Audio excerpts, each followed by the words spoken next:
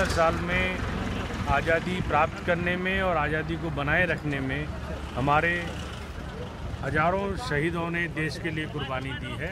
आज का दिन है जब हम उस शहादत को सलाम कर रहे हैं और उन शहीदों को ऐसी एक श्रद्धांजलि देना चाहते हैं ताकि पूरा देश ये देख सके कि जिसने भी राष्ट्र के लिए या देशभक्ति के लिए कुछ काम किया है वो कम नहीं है वो अतुलनीय है उसका कोई तुलना नहीं की जा सकती।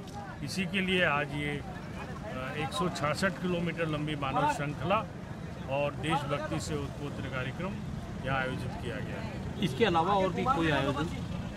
अभी इसके अलावा ये मानव श्रृंखला है इसमें बीकानेर के अंदर खारवाली से लेके बीकमपुर तक अभी जो एयरफोर्स के हेलीकॉप्टर हैं वो इस पूरी मानव श्रृंखला पे साढ़े बारह बारह साढ़े बारह बजे के आसपास पुष्प वर्षा भी करेंगे।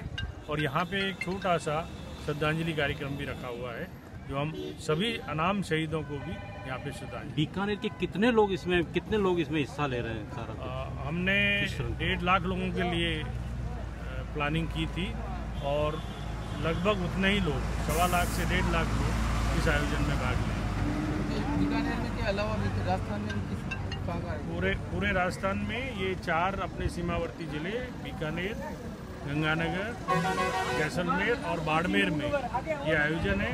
कुल मानव श्रृंखला 700 किलोमीटर लंबी है और इसमें लगभग पाँच हज़ार, पाँच लाख लोग भाग ले रहे हैं। थैंक यू एक उसका लीजिए।